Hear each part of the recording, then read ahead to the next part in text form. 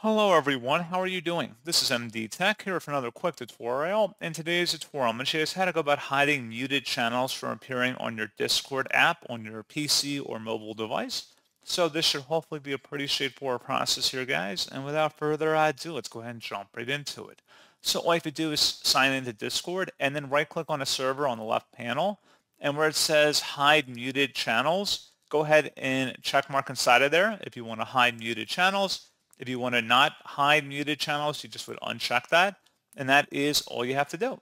So pretty straightforward process on that, guys. Again, if you want to hide muted channels, go ahead and check mark inside of there, and that's it. So as always, thank you for watching. Do hope that I was able to help you out, and I do look forward to catching you all in the next tutorial. Goodbye.